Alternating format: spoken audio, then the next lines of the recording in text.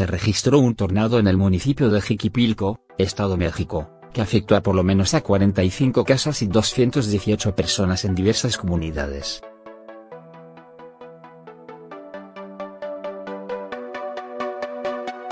Las autoridades levantaron un censo entre los habitantes del lugar para tener una estimación de las viviendas afectadas y conocer la magnitud del daño.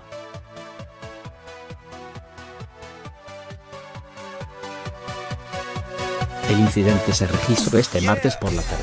El tornado se llevó con él techos de lámina de las viviendas y construcciones de adobe, también arrancó árboles y postes de luz, lo que provocó un incendio.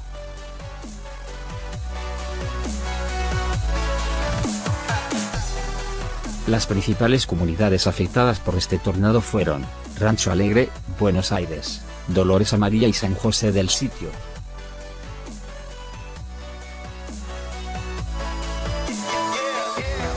Los elementos de protección civil se trasladaron al lugar de los hechos para evaluar las afectaciones y levantar un censo.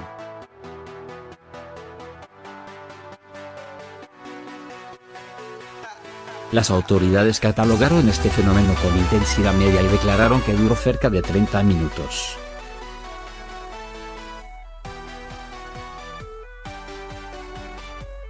Por su parte, los vecinos de la zona afirman que nunca habían visto algo igual. A continuación te presentamos cómo se vio el tornado que arrasó con el municipio de Jiquipilco, Estado de México.